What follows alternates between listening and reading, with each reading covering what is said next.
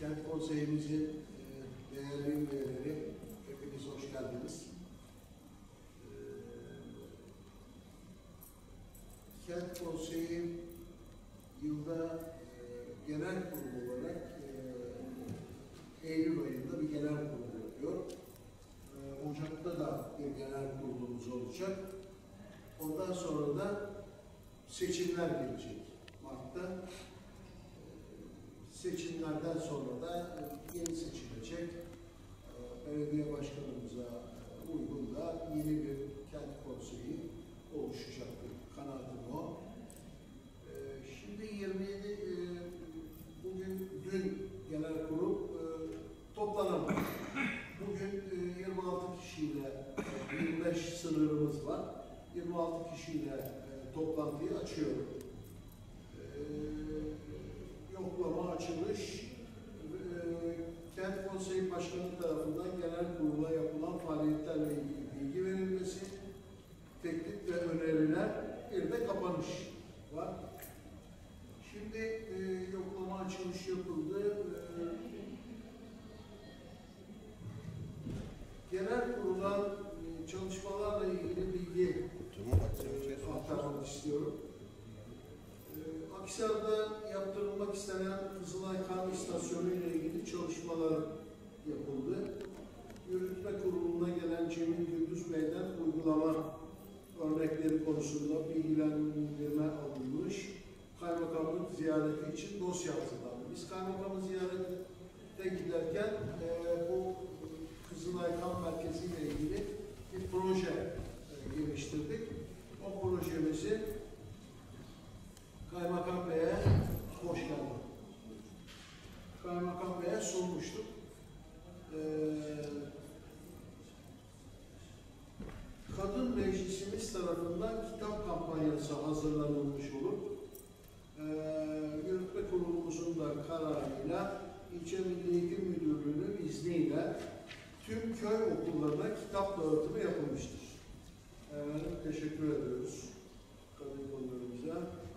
Gençlik Meclisimizin sokak hayvanları ile ilgili hazırlamış olduğu proje Belediye Sağlık İşleri Müdürlüğü ile görüşülmesi için sevk edildi. E, bu konuda bir şey e, geliştirilemedi. E, çalışma, bir çözüm geliştirilemedi. Yönetmelik gereğince milletvekili aday adayı olan Celalettin Çabuk Bey'den Engelli Meclisi Yönetim Kurulu tarafından istifası istenmiş, istifa etmiş. Yerine birinci yedek e, Vedat Özel Engelli Meclisi Yürütme Kurulu'nda göreve başlamıştır. Kızılay Kan İstasyon Projesi için kaymakamlık makamı ziyaret edilerek görüşme yapıldı. Kaymakamlık makamına resmi yazıyla müracaatımız yapıldı. Olumsuz görüşle geri döndü. Ee, giden kaymakam Kaan e, ve e, efendim, şey yaptık. Kaan Bey'e gittik. E, bir proje de hazırladık. Dosyamızı hazırladık ve e, Kaymakamlık bahçesinde bu inşaatın veya bu prefabrik yapının yapılmasının uygun olduğunu e, beyan ettik. E, Kaymakam Bey e, çok olumlu baktığını söyledi. Bir gün sonra yazı gönderdi, olumsuz olduğunu söyledi. E, Böylelikle Kızılay Kan Merkezi'nin yapımıyla ilgili çalışmalarımız Kaan Bey'in gidişiyle yeni kaymakama kaldı. Yeni kaymakam Bey'i e, bir ziyaret edelim. Hoş geldin diyelim. Hoş geldin derken e, bu projemizi yeniden e, sunalım kaymakam Bey'e. Ve bu işi e, belediye başkanımız Salih Bey'le görüştük. E, Salih Başkanımız bu olaya pozitif bakıyor. E, yapılması gerektiğine inanıyor. E, yapılması için de gerekli gayreti gösterecek. Kendisi e, şey yaptı. E, bu konuda taahhüt demeyelim de olumlu görüşünü beyan etti. E, bakalım o konuda çalışmamız daha devam edecek. Gençlik Meclisi tarafından Adana, Adana Kent Konseyi ve Gençlik Meclisi inceleme ziyareti düzenlenmesi için karar alındı. Ziyaret tamamlanarak raporlama beklenmektedir. Ee, Gençlik Merkezimiz, şey Gençlik Meclisimiz e, bu raporlamayı sunmadı daha değil mi? Ee, sunacak ama istifa etti arkadaşımız. O da e, böyle bir toplantıya gençlikten katılım olmaması arkadaşımızı e, moralini bozdu. E, maalesef e, gençlik bu konuda duyarsız davranıyorsa e, biz de bu konuda e, istifa edeceğiz dediler ve istifa ettiler.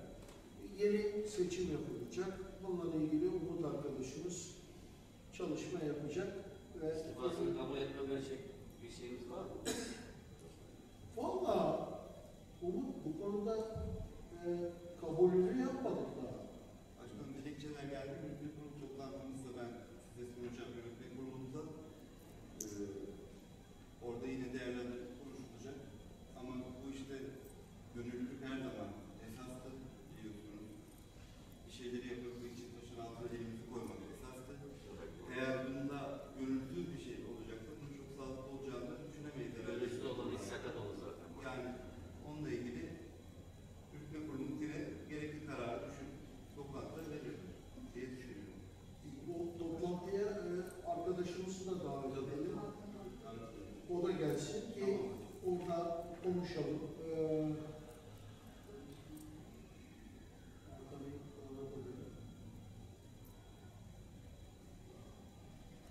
Şimdi biliyorsunuz bu konularda e, gönüllü olmak, gönüllü çalışmak e, çok zor bir iş. E, zaman alıyor, fedakarlık istiyor. E, o yüzden maalesef arzu edilen çalışmalar da olamıyor. Maalesef olamıyor. Ee,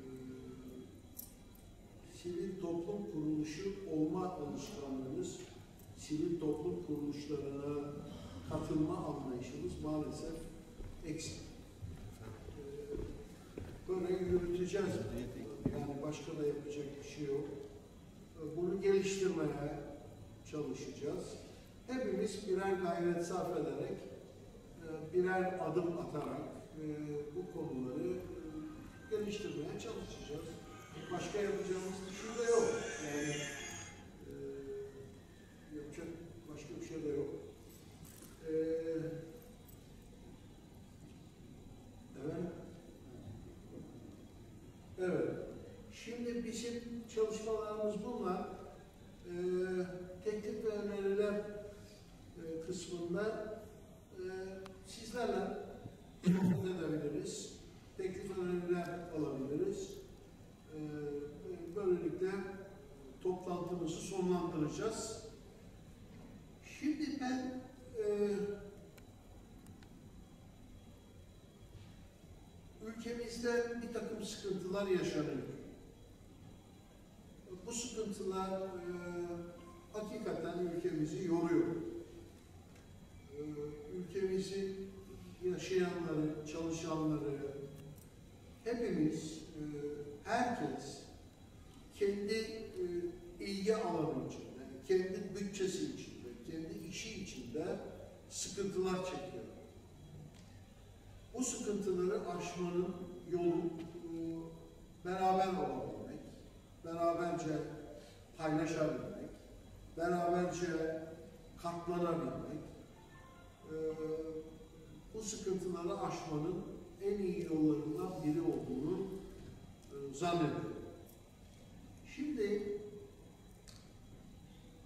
Akisar'ımızda e, Akisar'ımızın e, da olan, e, büyüyen, gelişen, şu anda da Akisar'ımızda fevkalade sıkıntı içinde olan e, bir şirketimiz var. Keskinoğlu şirketi var. Sıkıntının temel nedeni e, bizi ilgilendirmiyor. bir sebepten dolayı sıkıntı çekiliyor. Sıkıntı kendilerinden kaynaklanabilir, piyasadan kaynaklanabilir. Ee, ama bir gerçek var, sıkıntı var. Şimdi bu sıkıntıyı aşabilmek Akisar için çok önemli. Akisar'da şu anda 3000'e yakın insan orada çalışıyor. Bütün Akisar e, çarşısı, pazarı, esnafı e, bu işle ilgili olmak zorunda. Şirketin batışı, şirketin kapanışı, firmanın kapanışı e, geçen gün yazılı basında, sosyal basında da izledim. İzmir'de bir inşaat şirketi e, işini tasfiye ediyor. 900 işçiyi işten çıkarıyor. 900 işçi. Şimdi Akhisar'da 2000, 2500, 3000 işçinin bir anda işsiz kaldığını düşünmek bile istemiyoruz. Hakikaten belki e, işte işi düzgün olan, belki emekli olan, emekli maaşından geçinmeye çalışan bizim gibi insanlar umursamaz davranabiliriz. Ama umursamak zorundayız. Hepimizin umursamakla ilgili bir görevi var. İnanıyorum ki 2500-3000 işçi işine son verilirse, tazminatlarını alamazlarsa, aylıklarını alamazlarsa ki geç alıyorlar, firma gayret sarf ediyor maaşını ödemek için, maaşları ödemek için. Ee, yani Akisar'da çarşı pazar karışır. Bayağı çok zorluk çekiyor.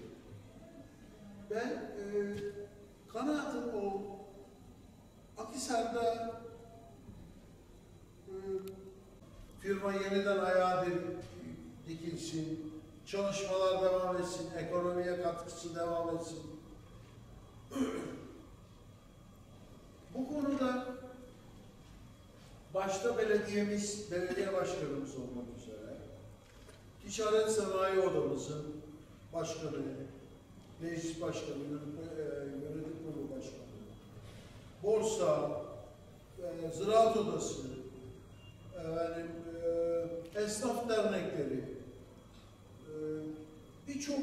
kuruluşun bir araya gelerek bu firmanın satışıyla, ayağa kaldırılmasıyla ilgili bir gayret sarf edilmesi konusunda bir e,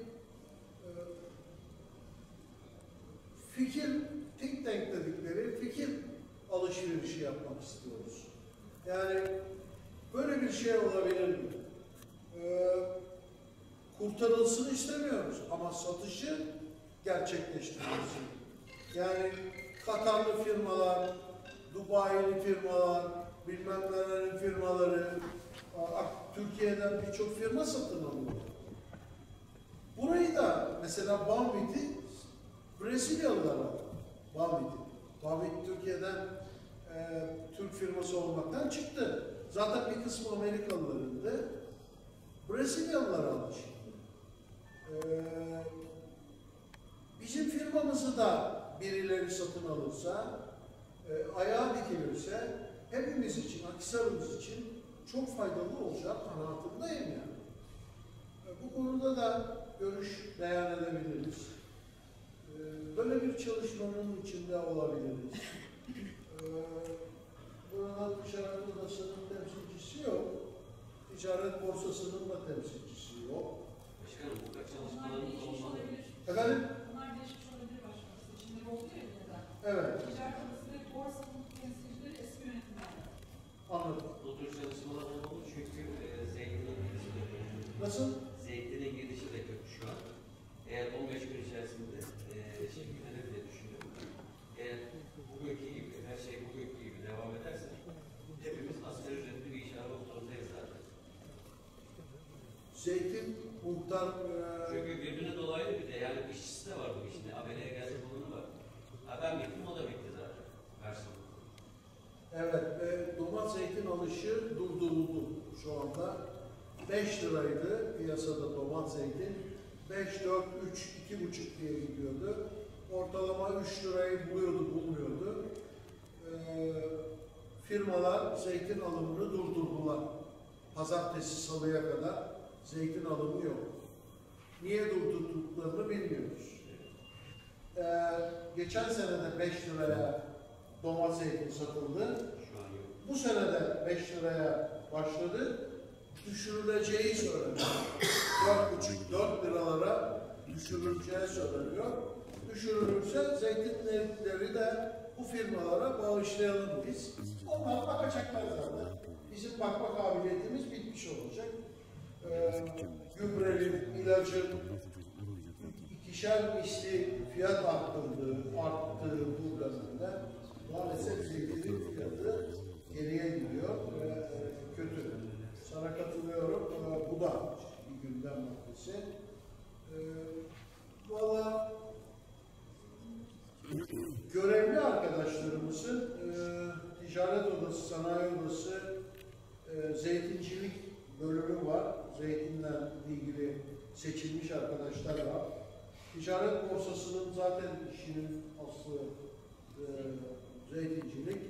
Bunların da bu konuda e, müdahil olmaları, gayret sarf etmeleri, e, piyasayı organize etmeleri, Kimse elin dışına atmak koymuyor o konuda. e, istemek zorundayız. Yani. ben karışmıyorum, ticaret serbesttir demek de olmaz. O da olmuyor. Ticaret serbest. Nasıl serbest? Evet arkadaşlar ben e, düşündüklerimi söyledim. Sizler de buyurun arzu ettiğiniz başka konular varsa söyleyiniz. Buyurun hanımefendi. Arkadaşlar ben ticaretten anlamam. Ben sanatçı bir insanım. Ama insani açıdan baktığım zaman e, belki halk arasında çok eskiden söylenen çok ilginç şeyler geldi aklıma. E, Keskinoğlu firması e, sadece işçileri özellikle sigortasız kısa dönemde çalıştırabilmek için e, birçok e, Akisar'da kurulacak olan iş yerlerinin önüne geçip onlara engel olduğu söylendi. Ben bilmiyorum. Herhangi birileri böyle bir şeyler söyledi. Ve gerçekten çok rahatsız edici bir e, düşünceydi. Ama bu arada e, Keskinoğlu gibi yerli bir şirketin ve firmanın, ki kimseyi tanımıyorum ben yine o firmadan, şirketten, ayakta kalması tabii ki benim için de çok önemli. Ama yine Akisar için korkunç bir kaygıya kapıldım birdenbire. Keskinoğlu gibi bir firma kapanırsa bizim çok fazla insanımızın hiç istih- istihdam edilemeyeceği ve istihdam edilebilecek iş yerlerinin olmadığı, bu konuyla ilgili girişimin ne zaman yapılacağı gibi bir kaygıya kapıldım birdenbire. Eminim birçoklarımızın da aklına gelmiştir. Ya bunun dışında e, yine kent konseyinde e, Akisar'ın en önemli problemi olarak ele alınan kan merkezi yapımı ya da kan merkezi olarak mı adetmem gerekiyor?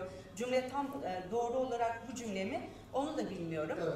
E, yapılması gerektiği üzerinde durulmuştu.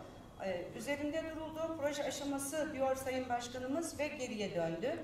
E, kaymakamlık binasının içerisinde böyle bir kan merkezinin olması zaten çok ilginç bir e, gariplik. Ama bu arada bir başka yer belki olurdu. Yine de halkın ayağına giden, belediyenin önünde, çarşı içinde, hükümetin önünde e, bir, evet, bir araç, pardon özür dilerim. Bir araç halkın ayağına gittiği zaman psikolojik olarak daha çok insan oraya akın edebiliyor. Ama belli bir merkezimiz var, buyurun gelin dendiğinde bu yarıya düşecektir. Ben böyle düşünüyorum. Doğru. Ki daha ilerlemedi de e, proje aşamasında kaldı. Ha, bunun dışında gerçekten Akisar'ı ilgilendiren belki çok daha fazla problemlerimiz var ve onlar da gündeme getirilerek hani bir listeleme olayı yapılmış mı? Hangisi öncelikle yapılmalı gibi bir şey acaba kent konseyi toplantılarında hazırlandı mı? ilgilenildi mi? E, bir de onu merak ediyorum. Teşekkürler. Ben teşekkür ederim. Keskinoğlu'na ilgili e, duyumumuz yanlış bir duyum. Ee, o firmanın sahipleri hepimizin tanıdığı kişiler. Ee, Akhisar'da organize sanayi bölgesi kuruldu ve doldu. Doldu. Yani Akhisar'da organize sanayi bölgesinde e, onlarca tesis yapıldı. Hepsi de faaliyet halinde. O arkadaşlarımızın Akhisar'da tesislerin önüne engel olma gibi ne bir düşünceleri var, ne bir düşünceleri olmuştur, ne de böyle bir niyetleri olmuştur. Ee, asla böyle bir şey yok. Bunu e, peşinen söyleyeyim. Ee, tabii ki Keskinoğlu'nun kapanması hepimizi endişeye sevk edecektir. Ben de onun dikkatli çekmeye çalışıyorum. Ee, kamp merkeziyle ilgili olarak da biz de kaymakamlığın bahçesinde e, bir yer var belirlediğimiz. O yerde yapmak istiyoruz. Kaymakamlık binasının içinde değil. Orada yapmak istiyoruz. Onun için müracaatımızı yaptık. Onun için e, çalışma yürütüyoruz. Evet buyurun. Merhabalar, ben Doğan Koç Aksar Belediyesi İmar İşleri'nde çalışıyorum. Tüm Yerelsel adına burada bulunmaktayım. Kent konse- konseylerinin tabii ki kentin sorunlarıyla ilgili e, ilgilenmesi, bu sorunlara çözüm önermesi e, gereken en baştaki işlevlerden bir tanesi. Ancak başkanımın biraz önce e, söylediği gibi geç dün işte birinci olan genel kurulun yeter sayıda toplanamaması, bugün de kıl payıyla toplanması kent konseyi işlevinin çok iyi işlemediğini, işlevlerini yerine getirmediği ve canlı motivasyonu kaybettiği anlamına gelir bu. Ee, Türkiye'yi şu anda e, e, neden olan Türkiye'deki ve ekonomik kriz maalesef başkanın belirttiği gibi Aksar'da birçok özel firmayla vurmakta ama Keskinoğlu tabii e, şimdi başkanımın önerisi çok ilginçti. Bana biraz da çok zıt geldi. Şimdi Keskinoğlu ve bugün Türkiye'deki yaşanan sıkıntının ana temeli herhangi bir e, nedende veya birkaç sebepten değildir. Tamamen sistemsel bir sebeptir. Şimdi öneri şu, Keskinoğlu batarsa evet Aksar'da 3000'e yakın aile ekmeksiz, açsız kalacak. Çok kötü. Yani bunu kesinlikle hiçbirimiz ne sebeple olursa olsun tasvip etmemiz, onaylamamız mümkün değil. Ancak sistem bizi buraya getirmiştir, sistem tıkanmıştır. Şimdi son sistemi aslında hem analizini yaptınız hem de sonuca getirip bağladınız başkanım. Dediniz ki işte Katarlı firmalar, Brezilyalı firmalar falan satalım. Hiç olmasa keskin olay dursun. Diyelim Katarlı firma aldı, sonra kafası bozuldu, kapattı gitti. Ne yapacağız? Şimdi ortada yine kalacağız. Sonuç itibariyle biz sistemimizi kendi milli sermayemize ve ekonomimizi devlet ekonomisini de elinde tutan yani serbest ekonomi ve devlet ekonomisi birlikte belki karma bir şekilde Cumhuriyet'in ilk yıllarında yapıldığı şekilde kotarabilirsek biz sistemi bu şekilde ancak kurtarabiliriz. Ben böyle inanıyorum. E, dolayısıyla çünkü başka çaresi yok. Yani biz sata sata bu hale geldik. Yani memleketin bütün Cumhuriyet döneminde yapılan fabrikaları satıldı, e, işletmeleri satıldı, özelleştirildi. Özelleşince Keskinoğlu tabii ki şimdi onu da tartışmak gerekir. Ekonomist değiliz ama Keskinoğlu'nun doğru yönetilip yönetilmediğini de. Yani ailesel, içsel bir sorunlardan dolayı mı bakacak? Gerçekten Türkiye'deki, çünkü bu krizden önce de böyle bir durum vardı. Satılma konusu konuşuluyordu. Demek ki bu kriz Krizden ilgili değil. ilgili değil. Yani bu o yönetimsel açıdan farklı şeyler söylenebilir. Tabii Aksar'da e, bu yerli sermaye, tabii ki Aksar'ın bir e, şirketi biz de bakmasını istemeyiz. Yani yok olmasını kesinlikle istemeyiz. Öyle bir anlaşma çıkmasın. Anlaşılmak da istemem. Ama bunun e, Aksar emekçisinin üzerinden emek sömürüsüyle bu hale geldiğini hepimiz biliyoruz. Yani bunu siz belki insanları bireysel olarak tanıyabilirsiniz. İyi insanlardır. Biz bunu tartışmıyoruz. Ama gerçekten de Aksar'daki emekçinin, köylünün üzerindeki o emek sömürüsünden bu hale geliyor şirketler. Aşırı büyüyorlar. Düzensiz büyüyorlar, dengesiz büyüyorlar, kontrolsüz büyüyorlar ve sonuçta bir yerde patlak veriyorlar. Dolayısıyla e, bence kent konseyinin bu sorunlarla da ilgilenmesi çok doğal. Böyle abes bir sonuç değil ama bunu iyi konuşmak gerekir. E, Aksar'ın bundan önce hocam biraz önce çok güzel bir konuya değindi. Yani Keskinoğlu batarsa yerine koyabileceğimiz ikinci bir şirketimiz. Örneğin. Veya o insanları başka bir alanda ikame edebileceğimiz, onlara aş ve ekmek verebileceğimiz herhangi bir kapımız yok. Kent konseyinin bu konuda daha çok aktif olması. Öngörü getirmesi lazım. Çünkü kent konseyleri ziraat odaları gibi değil, işte odalar gibi değil, sendikalar gibi değil. Çünkü burada herkesi objesini ortaya koyabildiği renkli bir dünya burası. Bu dünya Habitat toplantılarından sonra 90'lı yıllardan sonra bu kent konseyleri gelişti. 90'lı yıllarda 98-99'da Aksaray'da kurulması aşamasında da bayağı bir çalışmalar olmuştu. Biz bu işlevi kaybettik Türkiye'de. Gerçekten kent konseylerinin önemi çok büyük ama bu işlevi kaybettik. Bu işlevi yerine getirirken motivasyonu sağlamak gerekiyor. Bu da yani üzerinize alınma e, noktasına Konuşuyoruz zaten. başkanımızın ve yönetimin burada çok büyük Tabii, bir faktörü tabii. var. Yani ne kadar siz e, aktivasyonu elinde tutar, motivasyonu sağlarsanız biz üyeler de bu kadar çok canlı ve e, şey oluruz. Bir ikincisi kent konseyleri kurulurken de e, bu Aksar Belediyesi de tekrar bu aşamada olurken yine e, oluşma aşamasında yine konuşuluyordu. Belediye başkanına rakip bir başkan mı çıkacak? Belediye yönetimine rakip bir yönetim mi çıkacak? Tartışmalar vardı. Kesinlikle böyle bir şey yok. Çünkü belediye başkanı seçilmiştir, demokrasiyle gelmiştir.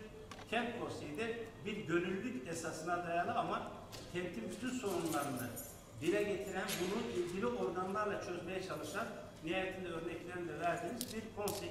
Bu konseyin işte e, geniş sonuçta önümüzdeki seçimlerde seçilecek belediye başkanına uygun bir kent konseyi olması da doğru. Yani ille uygun olacak veya ille zıt olacak diye bir şey yok. Sorunları Hayır, o da yeni seçilecek. objektifleri alabilecek ve objektif çözümler getirebilecek bir konsey bize lazım. Teşekkür ederim. Biz teşekkür ederiz. Zaten e, benim bu konuyu açmaktaki maksadım da e, bunun kamuoyuna yayılması, kamuoyunun fikir teatisinde bulunması, fikirlerin oluşması ve en doğru çözüm neyse de onun bulunması. Asıl bir daha e, bir, bir sebebi de e, seçilmiş organların, ticaret sanayi odası, borsalar, dernekler, evet, e, bütün bunların da bu konuda e, e, duyarlı olmasını sağlamak için bahsediyorum.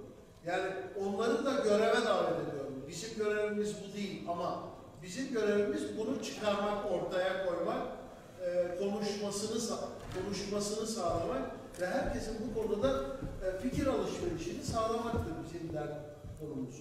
E, ben de e, bu konuda onun için e, öncelik verdim.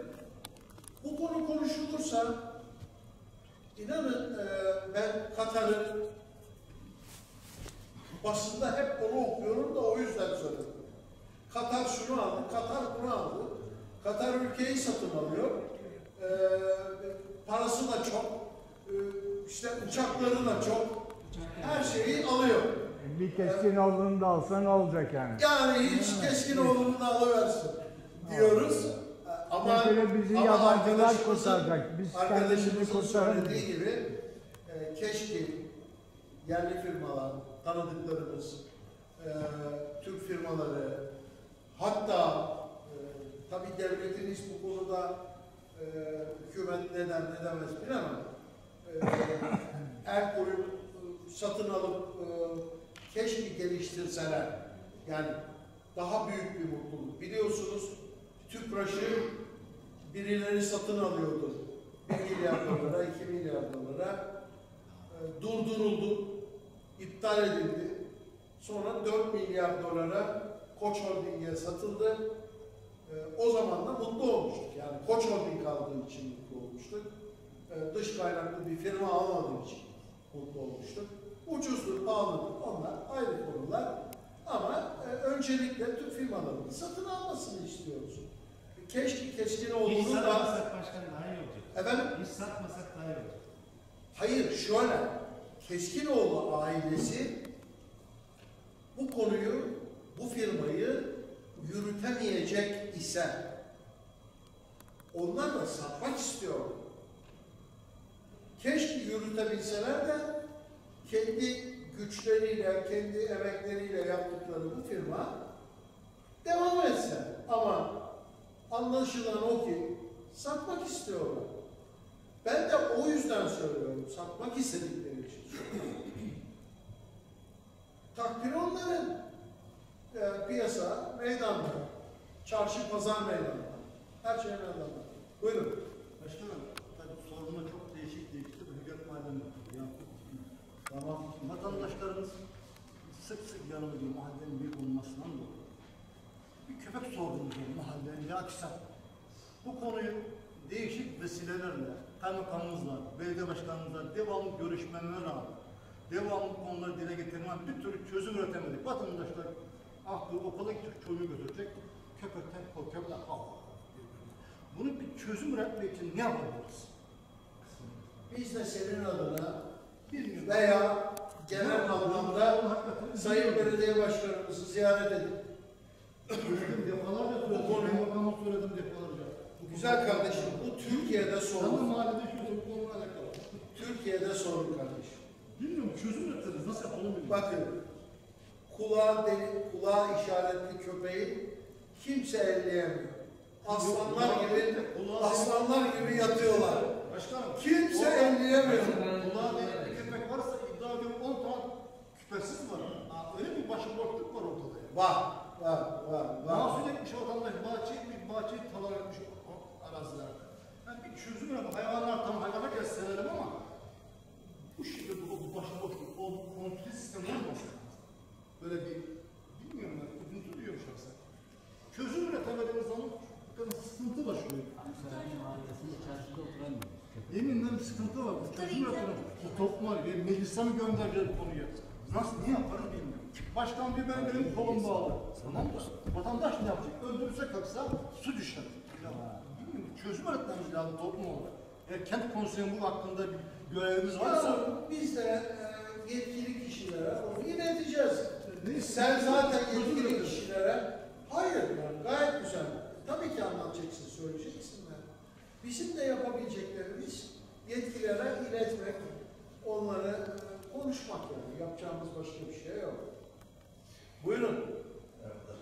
Yani öncelikle arkadaşımızın girdiği konuyu daki önerimi söyleyerek bir şeyler söyleyip konuşmak istiyorum. Biraz e, katkıda bulunmaya çalışacağım. Birkaç da önerim. Tabii ki. E, bu konuda bir proje yapabilirsiniz. Ben yanınızdayım. Beş kişi bulalım. Tüzük de var. Çalışma grubu oluşturalım. Biz kendimiz bunu gündeme getirelim. Zaten kent konseylerinin amacı bu.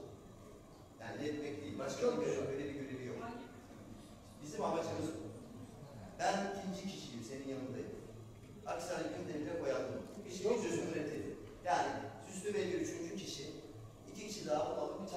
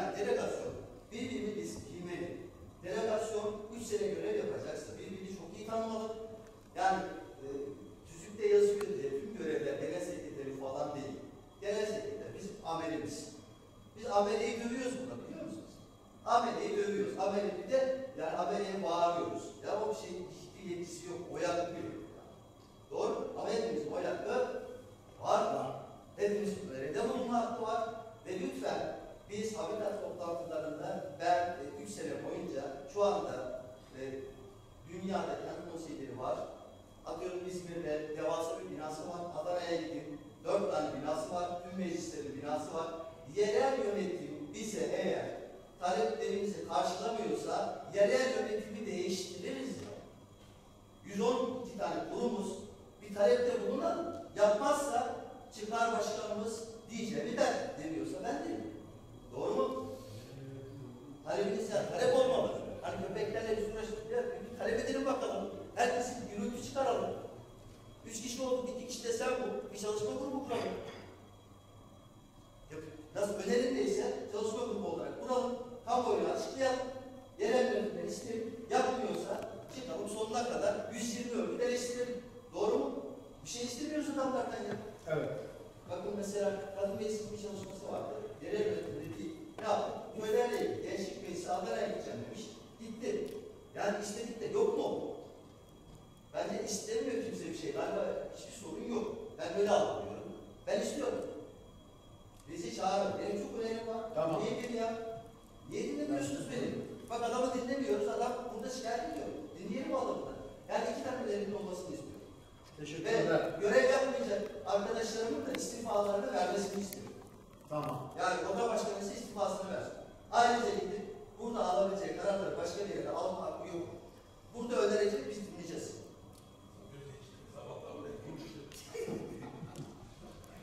Teşekkürler. Teşekkürler. Başkanım, şimdi bu konudan sorunlarla ilgili mercilere bizler dilekçe bazında altına imzalarını doldurup sunamayız ama iyi. Yani bu ilgili konseyi Yani şöyle bir görev var mı? Ben bu yapıyı nasıl kullanacağınızı kısaca tarif etmek istiyorum. Eğer müsaadeniz varsa. Ee, Kemalettin Bey de anlattı. Genel kurulda olma şartı da yok. Bakın beş kişi toplanıp bir çalışma grubu oluşturabilir. Bu çalışma grubunun ismini Akisar'ın hukuk hayvanlarıyla barışması çalışma grubu kurabilirsiniz. Bunlar hayvanlar için de güzel bir çözüm olur, Akisar için. Bununla ilgili genel olmanıza da gerek yok. Dışarıdan? Dışarıdan bir proje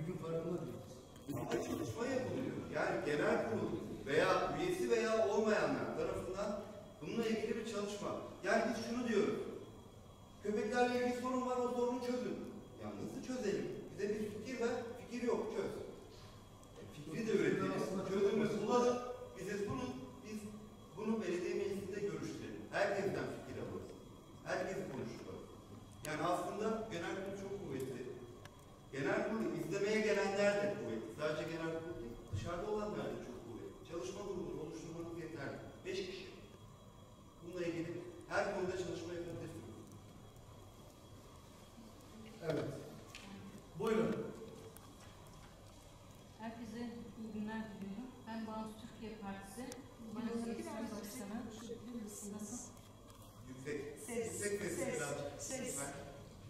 Ben Deniz e, Bağımsız Türkiye Partisi Manisa İslam Başkanı. Şu an Aksaray İl Başkanıyım. Genel Başkanım Profesör Doktor Haydar Baş. Türkiye'mizde ve Aksaray'ımızdaki bütün çözümlerin kaynağı yani bütün sorunların kaynağı şu gördüğünüz kitaptır. Milli Ekonomi Kitabı. Bu kitap Türkiye'de 2005 yılında gündeme kondu. Uluslararası kongreler düzenlendi. Birincisi İstanbul'da düzenlendi 2005 yılında. Bütün dünyadan bilim adamları Türkiye'ye geldi. Ve bu ülke, kitap 5 yıl sonra ilk başta Rusça olmak üzere bütün yani şu an 120 ülkede tam manasıyla ve 170 eğer diğer e, ülkelerde de uygulama aşamasında. Bunu uygulayan e, ülkeler milli paralarla ticaret diye bugün gündem olan yeni e, emperyalizm ve kapitalizm çökmüştür bu kitapla. Bu kitap şu an uygulanıyor.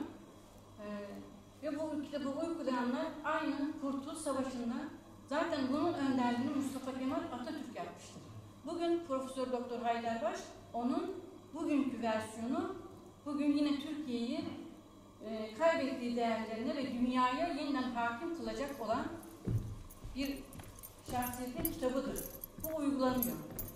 Şu an ülkemiz yani o satılsın, bu satılsın, o yapılsın satılmıyor arkadaşlar. Şu an biz işgal altındayız.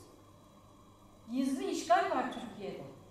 Alanlar bugüne kadar her yer alındı. SEKA alındı, birileri tarafından SEKA alındı ve feshedildi. SEKA'nın işi bitti. Bugün Keskinoğlu'nda arkadaşımız dediği gibi verdiğimiz zaman o da bitecek. Kapandı gitti. Şeker fabrikalarımız kapandı. Her gün bir yerler kapanıyor. Nereye kadar? Bir zamanlar bize kökler dizisini seyrettirdiler. Ne oldu kökleri? Gerçek sahipleri köleleştirdi. Şu an Türkiye köleleştiriliyor. Ama bu kitap sayesinde ülkeler ayağa kalktı. Benim söyleyeceklerim bu kadar. Teşekkür ederim. kitap. Hayır, bu milli ekonomi modeli. Ben size bunun küçük versiyonlarını getirdim. Yani okuyun, ülkeyi kalkmak. Tü- Türkiye'nin yani hepimizin gündemi Türkiye genelden yani meclisten yerele, yerelden meclise yönetilir. Bunun uygulanması gerekir. Bunu da yapmak için yeni yani yerel yönetimlerde il başkanlıklarına yani bunlara ihtiyacımız var. Bizim sisteme ihtiyacımız var. Bu sistem bizde var. Şu Ama? Türk, hı? Şu an nasıl yönetiyor? Türkiye'de. Evet. Ben sizlere bırakıyorum. Ben söylemeyeyim. Onu siz söyleyin. Ben söylersem yani bu